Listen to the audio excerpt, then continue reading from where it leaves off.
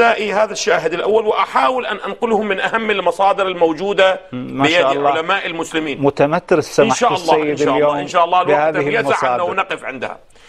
الشاهد الأول أعزائي ورد في صحيح مسلم النسخة المعروفة وهي بتحقيق شيخ مسلم بن محمود عثمان وبتحقيق إلى آخره طبعة دار الخير المجلد الأول أو الجزء الأول في صفحة 340 كتاب الحيض وباب التيمم رقم الحديث أعزائي 367 الرواية هذه أن رجلا أتى عمر فقال إني أجنبت فلم أجد ماء فقال لا تصلي.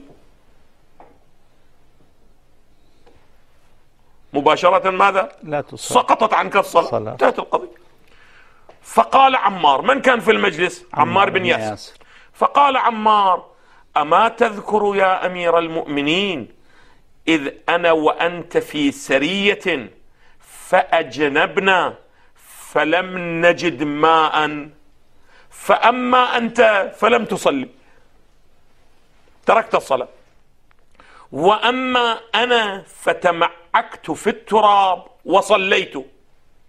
فقال النبي صلى الله عليه وآله إنما كان يكفيك يقول لمن؟ لعمار نعم. من غير أن تتمعك ماذا؟ في التراب. في التراب إنما كان يكفيك أن تضرب بيديك الأرض ثم تنفخ ثم تمسح بهما وجهك وكفيك تيمم تتيمم التيمم أحسنتم جزاك الله خير عمر عندما سمع الخليفة الثاني عندما سمع من عمار هذا البيان طلب منه طلبا أنا أترك القضية للمشاهد أن يقول أن يسمع ماذا قال عمر. فقال عمر اتق الله يا عمار. قال من؟ عمار, عمار. إن شئت لم أحدث به أحد. لم أحدث به. لا أقول أن الخليفة الثاني ترك. أفتى من غير علم. هذا الحديث وين موجود أعزائي صحيح. في صحيح مسلم, مسلم. هذا المورد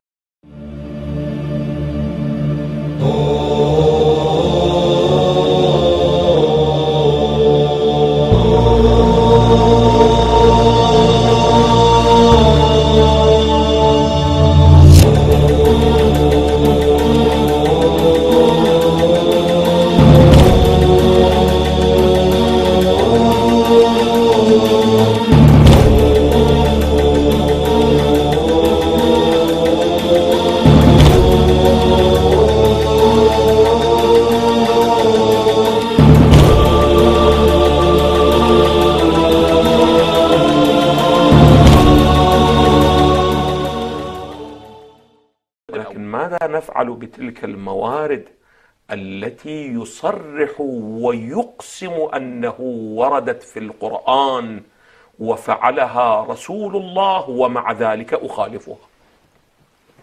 هل مثل هذا واقعا الامر موجود واقعا يعقل. أصد وأنا أتصور الآن المشاهد الكريم يقول أيعقل هذا المعنى؟ أيعقل هذا المعنى؟ يعني يجتهد في مقابل مو؟ يجتهد يقول بأنه فعل هذا. بعد مو اجتهاد هذا. هذا إح إحداث رأي هذا. هذا أمر محدث. أحدث بعد رسول يعني الله. تريد أن تقول بدعة.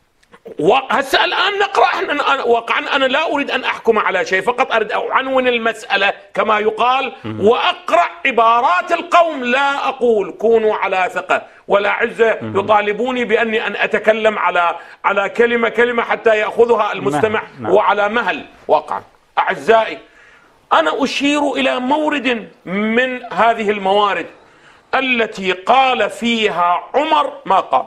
أعزائي انظروا هذا كتاب صحيح سنن النسائي بتحقيق الألباني وطبعة الرياض أعزائي في الجزء الثاني صفحة 268 التفتوا. عن ابن عباس وانظروا إلى السند يقول صحيح الإسناد. ده أقرأ رواية ماذا؟ العلامة الألباني يصحح سندها, سندها. عن ابن عباس قال سمعت عمر يقول التفتوا والله ماذا؟ قسم.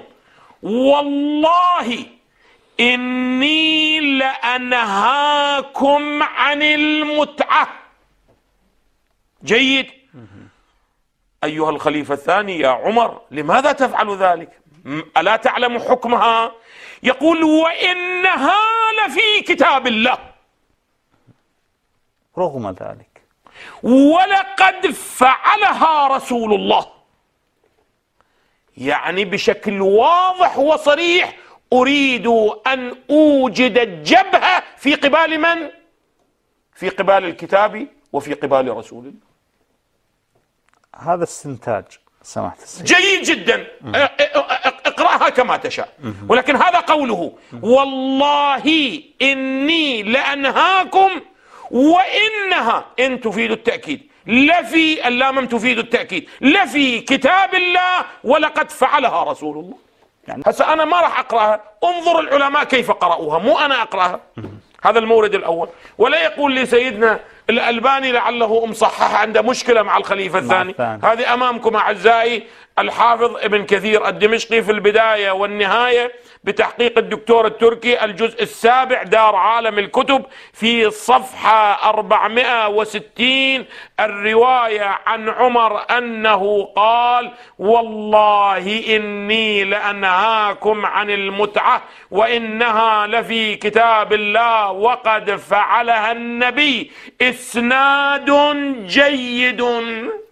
هذا من يقول؟ البداية والنهاية الحافظ ابن كثير. كثير. بعد أعزائي ولذا أنتم عندما تأتون إلى العلامة الوادعي اللي هو من أعلام السلفية السلف. في اليمن عندما يأتي إلى هذا يقول استحسان في قبال الكتاب والسنة. صريح هذه أمامكم. الجامع الصحيح مما ليس في الصحيحين. للعلامة الوادعي دار الآثار الجزء الثاني صفحة 390 من الكتاب. انظروا إلى العنوان عنوان المسألة. نهي عمر عن المتعة استحسان منه